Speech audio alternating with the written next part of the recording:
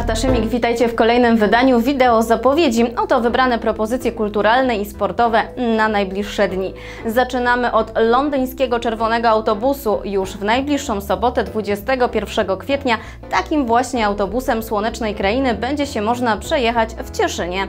Start godzina 11.30 i 13.30 z przystanku Banotówka, zaś o 12 i 14 wiadukt. Finał na kampusie Uniwersytetu Śląskiego, gdzie już od godziny 12 czekają na najmłodszych różnego rodzaju atrakcje. Gry, zabawy, warsztaty, tańce i dmuchańce. Wiele niespodzianek w kolorze niebieskim.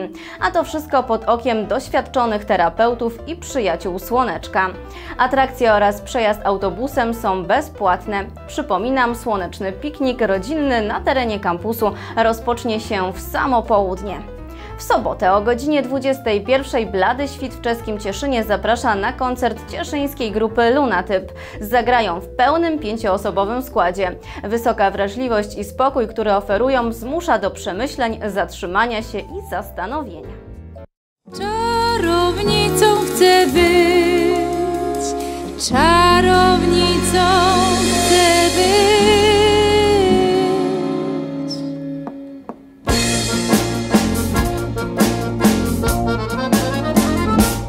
Czarnego kota, stopy trochę od złota, posianych kilka ziół. I naleweczek parę ich receptury stare,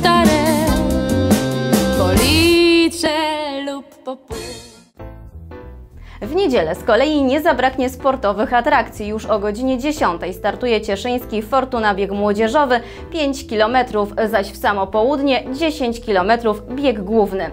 Trasa przebiega ulicami Cieszyna i czeskiego Cieszyna. Start Aleja Jana Łyska obok kąpieliska miejskiego, zaś meta to bieżnia stadionu przy Alei Jana Łyska. Bieg obserwuje zawsze na trasie duża rzesza kibiców, co czyni go jeszcze ciekawszym.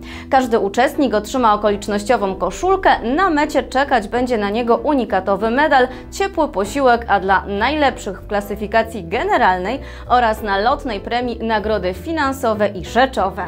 Nagrody rzeczowe otrzymają również najszybsze osoby w poszczególnych kategoriach wiekowych, zarówno wśród mężczyzn, jak i kobiet. Przewidzianych jest także wiele nagród specjalnych.